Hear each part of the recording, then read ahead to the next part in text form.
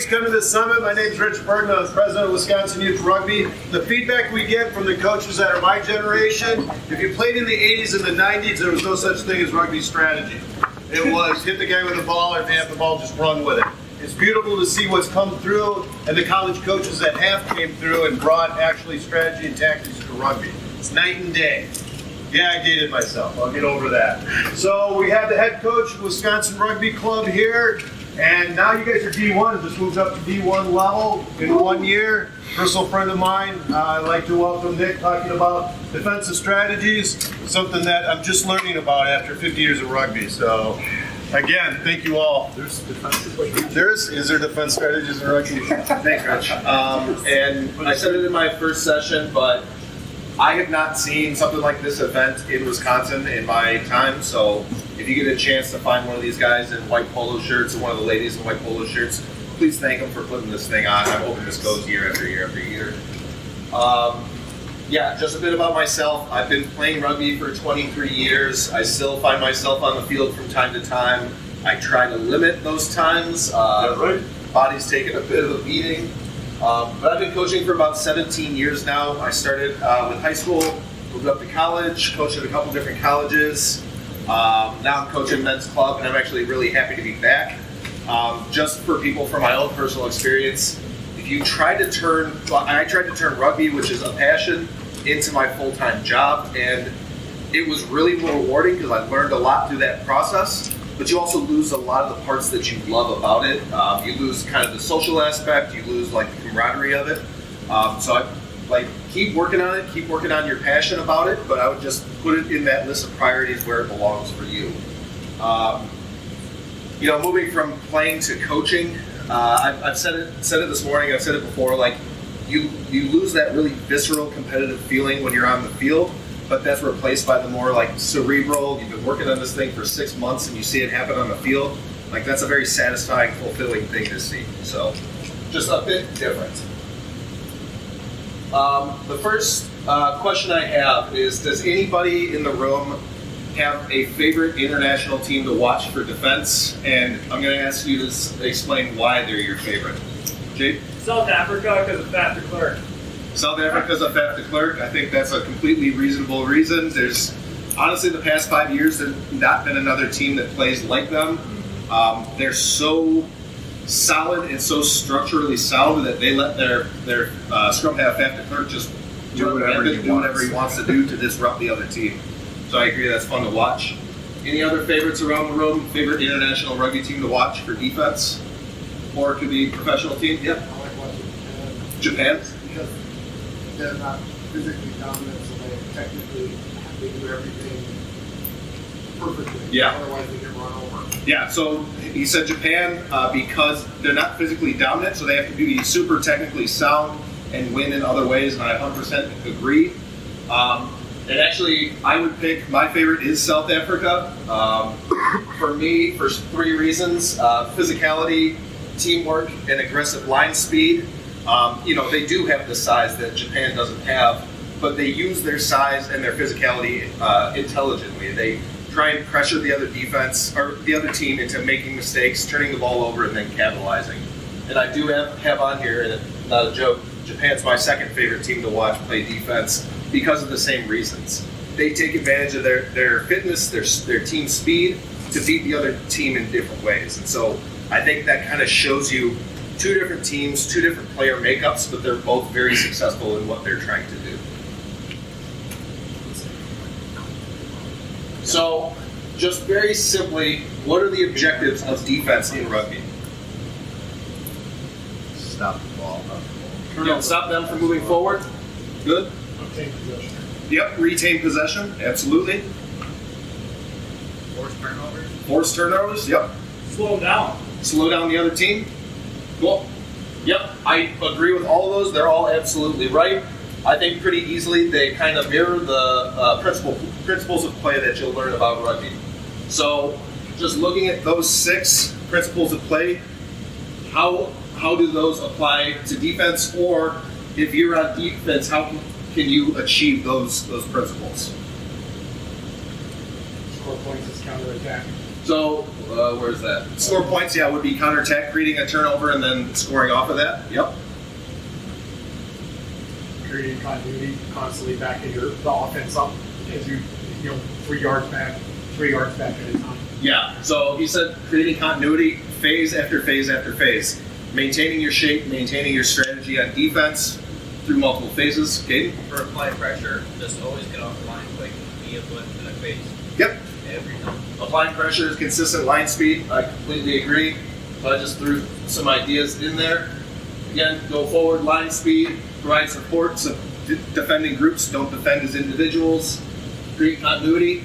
Get your line set up for the next phase before the next phase starts. Apply pressure, line speed, breakdown skills, score points through transition, and then uh, contest possession, and that can be done a couple of different ways. Any comments on there or stuff that I missed that, that could also be considered ways to accomplish the principles of play? Cool. No worries. So now, going to talk about there's, you know, with the modern game, with it being professionalized, there's kind of an infinite amount of defenses you could run. You could specialize in any one area. But again, there's two main styles that teams play. It's a drift and a blitz. Um, and if you were here for, for Snacks' presentation, there will be a little bit of the same ground, but we're going to cover it a little bit differently. Um, can people give me examples or, or characteristics of either drift or blitz defenses? Give up the yards. What's that? Give up the. Drifting, give up the. So in drift, you give up some some space on the outside. Yep. Blitz is proactive, drift is reactive. Okay, that's a good way to think about it. Uh, you said blitz is proactive, drift is reactive. I would say that that's correct. Others? Drift is a inside out or blitz is an outside in. Yep, 100%. Drift, inside out. Blitz, outside in. Cool. Yep, great examples. So, you know, my thoughts kind of mirrored what you guys were saying. Drift is very patient, inside out, more of a bend not break mentality. Blitz, aggressive, outside in, high risk, high reward. Okay, kind of similar to what Snacks' presentation was if you were here last time.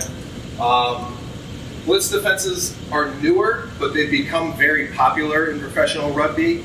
It's really about putting the pressure, not, not being on defense and taking pressure from the opposition, but putting the pressure on the attack. Um, can anybody think of a defensive style that doesn't fall into one of these two buckets? Um, Some people call it hinge, banana, or umbrella, where you have a specific pod of your defense kind of shooting up and the rest of it is flecked off of that. Okay, I think the umbrella kind of falls under the blitz. That's the blitz. Yeah, it's, it's a little bit more specific about which players are coming up the field. Yeah. Yeah, cool. Sweet. Okay, so I've got a couple of videos here. Um, you know, I don't want to just keep speaking. Uh, this first one, there will be some uh, professional English players or former professional English players that will kind of speak to the difference. We're going to have a li- little look at the difference. The, the drift defence, you're trying to drift and push the opposition out towards the touchline. Bath doing it here against Leicester, actually. And you'd think actually it'd be a, a little bit closer to the try lines do it, but they just drift. They're all working hard on the inside, talking to each other. And it's a lot more passive defence, but you tend to make a lot less errors doing it this way. You can lose a bit of space on the outside, but you tend not to miss as many tackles as opposed to your Yeah, well, if, if the drift is all about from the from the inside moving out towards the touchline, the blitz defence is the total opposite. It's about getting up on the outside and trying to force the attackers back inside. Quite high risk, but hopefully quite high reward. Uh, we just see Saracens, you've got uh, top kids there, just rushing up on the outside and forcing Cook, Rob Cook there, the Gloucester defence on the inside. And it really is about total commitment for the whole defensive line. We see another little curve here where they, they're just trying to force the guys on the inside, which means that you will ultimately, we just see the back end view, just forcing them up, and they've got nowhere to go. They can't go around the outside. And since you know you led the defensive line with England, we sort of adopted both both strategies, didn't we? Yeah, We're going to have a little, little Okay, this one's just a really quick one on the drift defense. Uh, I'd like to kind of point out. Oops. Hopefully this works.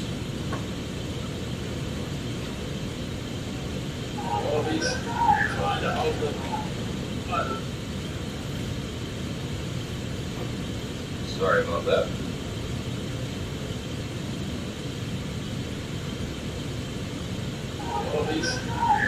So New Zealand's on on attack here. We're watching the defenders for Australia. What I'd like you to look for is where their hips are facing as the ball comes out. They're all pointed towards that sideline. They stay inside of their marks, pushing towards the edge, and use that sideline as that last defender. Okay? I have some more examples of blitz defenses, if it works. First half. So again, here's Japan. They love doing the blitz defense. See how fast their line speed is. Driven backwards. See how they get numbers around the breakdown. over again.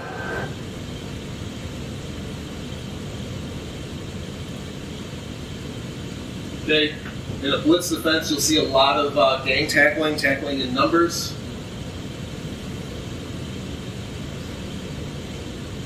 Okay, again, blue here is going to be on a blitz defense. The outside defenders are up farther than the inside defenders, trying to hit man and ball as soon as that pass connects. And that's what they're trying to create with the blitz defense is those transition opportunities.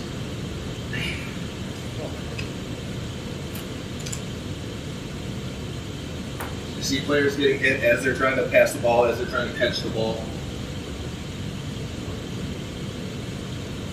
Okay, last one here. Again, it's about, it's kind of that basketball mindset of trying to see both the ball and your mark at the same time, so you can time that hit as soon as they catch the ball.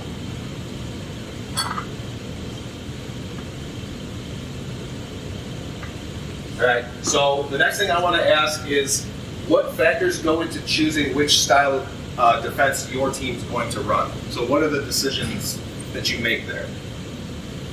Where you're on the field.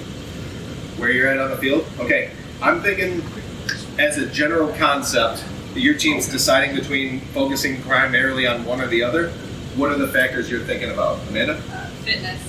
Fitness of your players. Yep. So which which bucket is which? So if, if you're not as fit of a team, a drift defense is probably the way to go because you don't need as much energy and as much kind of go forward commitment versus a blitz where you need fitter players to be kind of moving across the field a little faster. Yep, 100% agree. If you've got a fitter team, the blitz makes a little bit more sense because you're going to have to get to width earlier. You're going to be up and back more often than you are for a drift defense. Good call. On the uh, proficiency of your tackling, if you've got a team that tackles really well, blitz is more your option. But if your guys are struggling with it, they need numbers for the drift option. Yep. So uh, another really, really good point. Uh, proficiency in tackling. If you're running a blitz defense, you're going to put your defenders up on an island a little bit more. So we need to be more capable in the one-on-one tackle environment. A drift defense, you can get in those numbers. You can get people into the tackle easier, and just be more patient with it. Good call. Any other considerations we can think of? How aggressive your players are. how aggressive the makeup of your team is. Like, do you want to play super aggressive or do you want to be a little bit more passive? Like, there's not a right answer. It's just what fits your team makeup better. Great answer. So, I've got most of the things you guys are talking about. Drift, larger players, less fit players.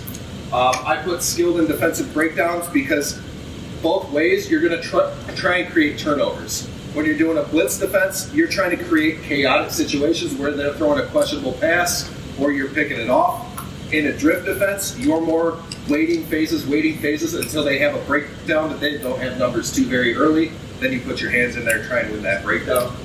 Um, again, the less sure tacklers, blitz, fitter defenders, uh, aggressive mentality, skilled in the chaotic situations. Um, and just a call out on the bottom, no matter what you do, your team needs to be bought in on the idea. Like, you can't go to a team and say, hey, we're going to do a blitz defense. Good luck, guys. It's get everyone on the same page. Do we want to be super aggressive or do we want to focus that time in other areas of the game? So, I wanted to go into. I had a. So, when I started back with the WRC, uh, this would have been uh, a year ago? That right? Two years ago? Something. Um, we put in a blitz defense. So I think it was the first time uh, the Wisconsin Rugby Club had seen a blitz defense. Like you know, just like everybody else, we grew up playing drift defense, and that's all there was. Um, and I kind of learned that, the, the, the general principles of what you're trying to do in a uh, blitz defense. Um, no matter what you're doing for either attack or defense, it's smart to put in some kind of terminology that makes it stick in people's minds. We called it a lumberjack defense. Okay, our goals it was pile pressure on the opposition, force sloppy exits, make early quick tackles, and create transition opportunities. Yep, Jake. What do you mean by exit? Uh, exits are you're inside of your own 22 and you're just trying to get away from your own try line. Usually it's through setting up a kick that can clear your lines. Um, so we're trying to force the other team into sloppy exits. So as they're setting up their exit, we want to create opportunities to either force them into a bad kick or into a turnover uh, situation. Okay, these were our principles. Obviously, outside in, aggressive line speed. Never pass the ball. Can someone tell me why why we never wanted someone going past the ball? Yeah. So they said you're out of the play. What's the specific danger we're seeing there? Yep. Well, it's not outside, so we started outside. Yeah. But say this is the fly half, they've got the ball, I'm defending the inside center, and I go here, what can they do? Throw, throw the ball behind me, run behind me, anything like that. So for us, it was getting up even with the ball, and if we are even with the ball, we're hunting inside. Okay, we're going straight at that ball carrier. Um, obviously, a, a quick down and tackle, and then back to our feet as quick as possible. Again, when you run this style of defense, you need all of your players up on the feet, spread out, so you can have line speed over and over and over again. I'll quickly go through some of our terminology. Some of it we use a lot, some of it we don't. This is what was in my mind when I was putting this together. Um, we called our straight ahead running lines, straight ahead running options oaks, and out the back options mostly bats, bushes, any trees, pot of oaks with no bush, woods, oaks with a bush, field, first first receiver out to some oaks. Not super important, but again, you stick with the terminology, you stick with the lumberjack theme, players can remember it a little bit easier. Again, easy terminology, axe and saw are two different kinds of tackles. So if you see from seeing out on defense, we're outside of our mark. Everyone outside of there is looking for a chop tackle with their axe. So up the field in chop tackle. So right there, that's where all of our assignments are. Okay, we're all looking to come from the outside in, try and time our hits. Everyone inside the, the ball is the saw. So someone steps back in, they're stepping into our saw. Just kind of showing the assignments as we go there. Where do we think the danger to our defense is right here? Okay, so wide, yep. What kind of a pass is that from this playmaker to that wing? Super easy. What, what was that? Super easy? I, I mean, maybe. What we're hoping is these two players are aggressive enough where if that pass gets thrown, they're either intercepting or it's a really tough, you know, 20, 30 meter over the top skip pass.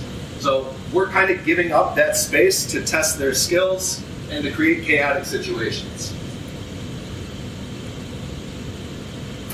So that's what we're looking for, and this is that ball over the top. If they do pull it off, we still want our wing out there roaming, doing their thing, but then our saw, instead of being kind of angled this way, goes angled towards that sideline, and and it forms that drift defense that people are used to. So we want to create chaotic situations. If they do get outside of us, we'll still go into that wedge towards the sideline, give up a little space on the outside to try and win that turnover. Okay, so here, just some more clips from Japan.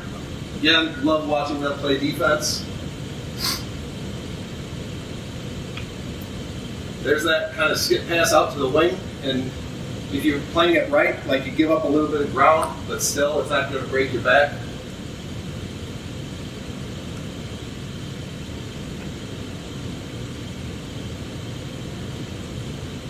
Now moving into what uh, our full policy was. So we're starting from a sideline. Got a couple of pods set up. Our seed is outside the first first threat. So we're looking for double tackles as much as possible. So watching, we got B and C going into that, that tackle area. And how a normal defense that we learned, a normal drift defense, D would step into this post guard, whatever position. For a blitz defense to be as effective as it can be, we want early width. These two are in the tackle. We're going to have D line up outside their next first receiver. Okay? We're going to expect work from these two players or the nine to fill the A and B channels there. Okay, so if everyone's doing the thing they should, A and negative A fold it over, nine can fill if needed, B and C roll away and form A and B on this side. Any questions on that, that little piece of it there? Again, it's it's high risk, high reward. It takes time to have this become second nature, to have this have players look for the keys that we're looking for, but it can be really effective if people are bought into the idea.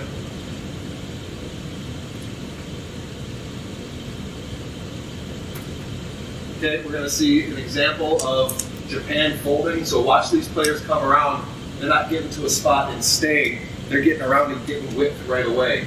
Specifically, look for the first player that's not in that tackle on the far side and the width they're looking for. We'll watch this another time through. Watch that first defender. He moves out, calls players over, and fills that inside. This allows them to get multiple people in, in tackles, multiple phases in a row.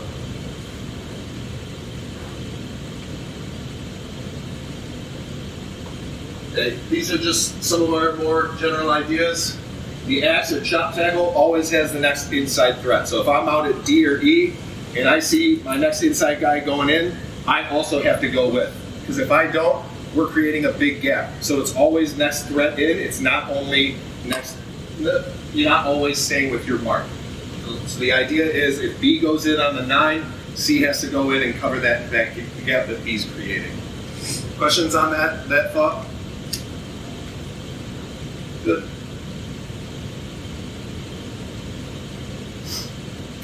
Kind of more specifically to the exit defense.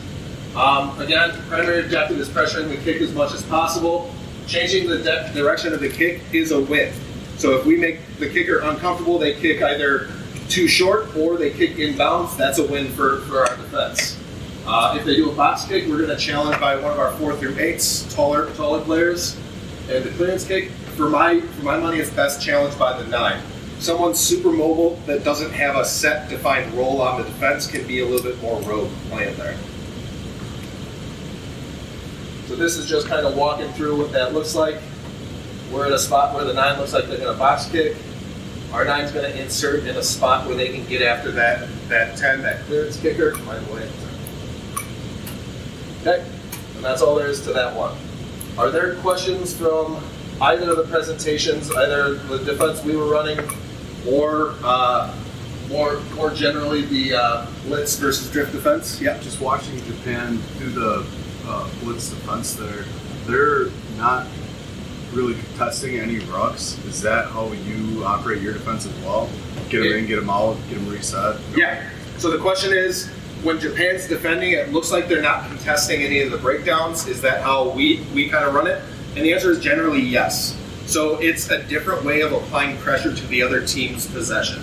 So in a in a drift defense, you're looking to go a couple phases, wait until they're short numbers, then really attack that breakdown. In a blitz defense, you're looking to get them going backwards multiple phases in a row and either force them to kick or get get a, a pickoff, an intercepted pass, a big tackle behind the gain line that, that makes the ball go loose. Again, it's not a red light on putting hands on the ball, but it's more that yellow I light. was just going to ask that. Yeah. Okay. So we still have players look, looking to put hands on the ball, but it's I would say fewer times than in a drift defense. Um, when you had your demonstration on folding, uh, your PowerPoint showed that the two A guys would, would pull over to fill that gap.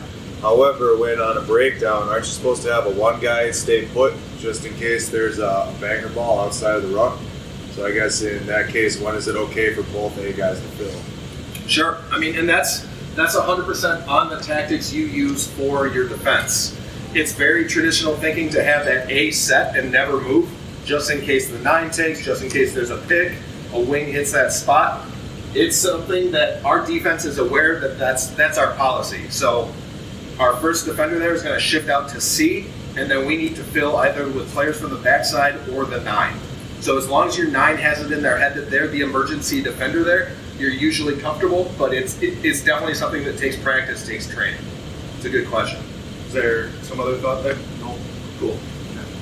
No, I, I think that's an important consideration for sure. It's it's very different from the like again. It took me a while to learn. It's very different from the defense that we're used to playing. Um, so this is that spot where I'll tell you that. This is that spot where we're talking about. So normally this D would step into this spot. We're asking them to get here, and nine for our team. Nine is responsible to get these guys into the right spot. Do we have another hand in the back? Okay. Um, other thoughts? Again, I know this is more about a blitz defense. Uh, for me, that's what I've been coaching for three or four years now. Um, I'm used to a drift defense as well.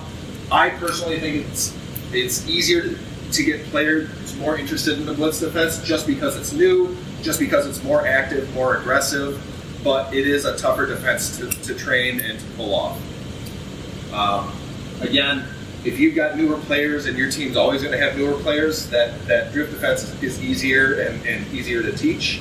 But the blitz for me has high risk, high reward. I kind of like playing that way in general. I like creating opportunities for our players. You switch it up in the game depending on where you're at in the field. Um, no. So it's not where we are in the field. It's more the specific situation. So if they have a blind side where they've got a four on two or a five on two, we'll yell out cold. So normally it's hot and cold. Normally hot is our base, and if you if we hear cold, cold, cold, then it'll be that that kind of wedge towards the sideline. High time to get the inside defenders in there. So we do have a call to switch into a drift style, but our base is is hot. Blitz. Other questions? Cool. Uh, I was just gonna say, the last time we played, that he started sliding out, just like the Japanese player, he's calling. Yeah. Hold, hold. Yeah. Do the same thing, but that's important, that communication.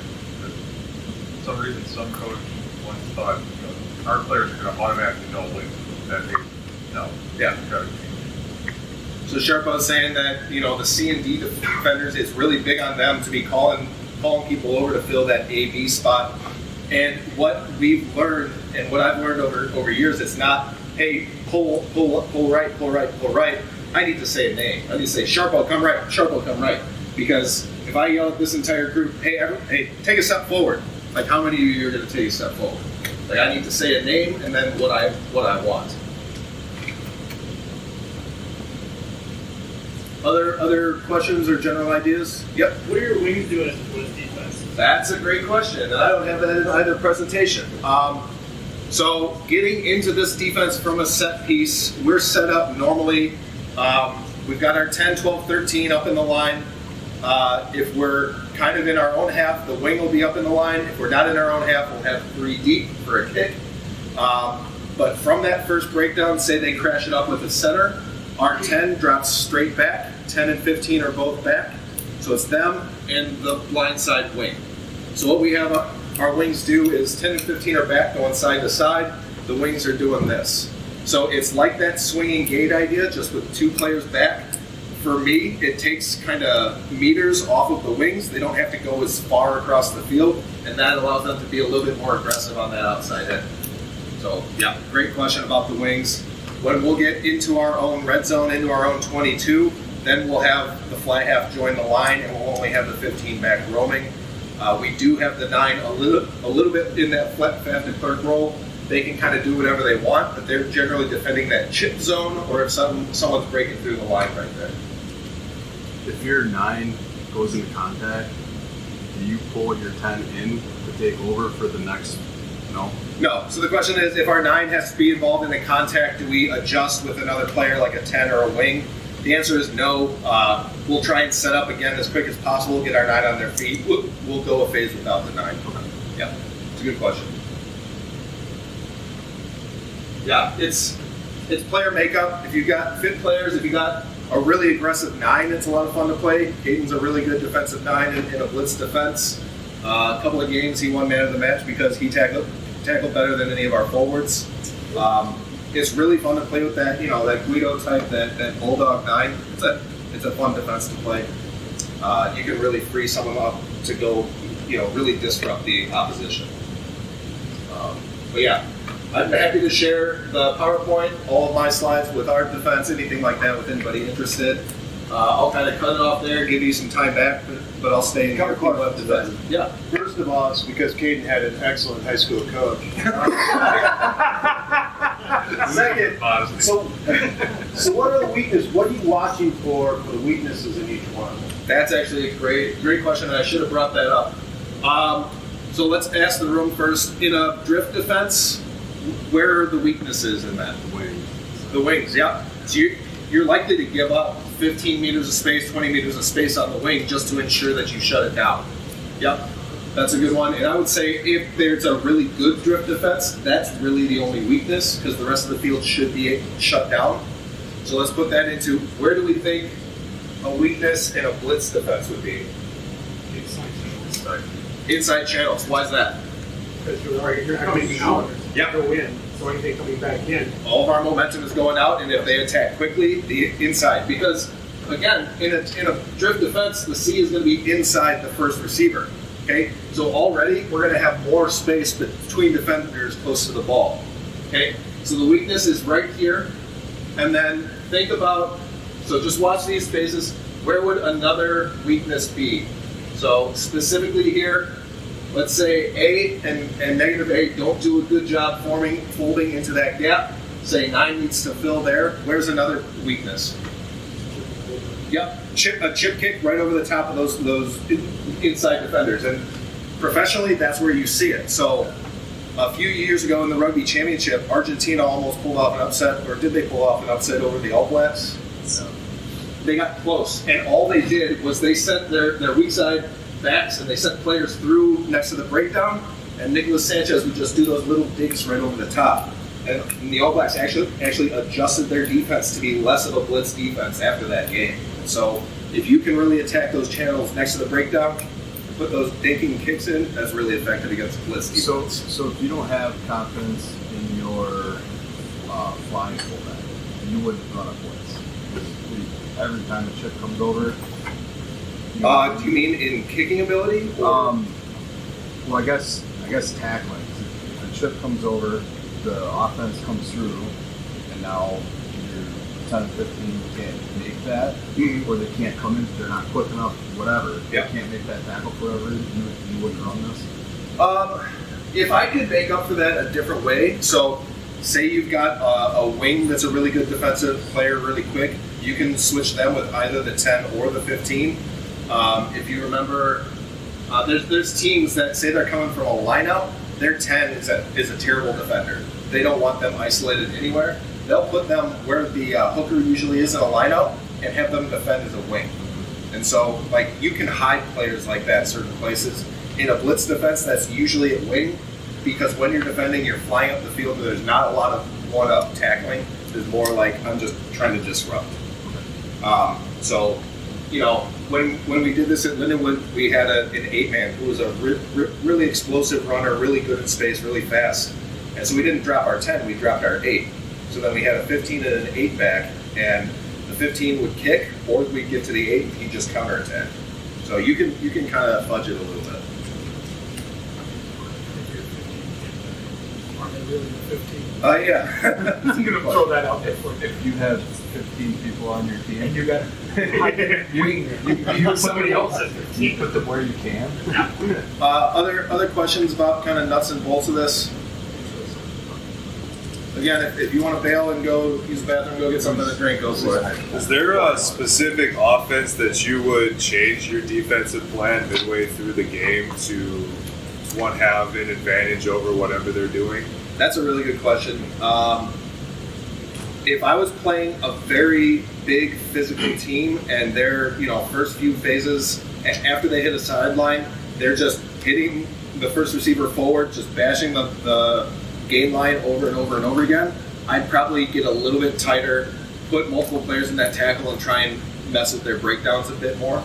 So I, if, if there's a team that's trying to be super physical not throwing the passes very much. That's that's a team I tighten up a little bit for. Um, this is meant like the bread and butter of this defense is a team that plays off of ten, because when there's two passes that happen before a contact, you can take five to eight meters of space no problem. If there's not two passes, you can't take that space as well. So that's that's a good consideration for the two.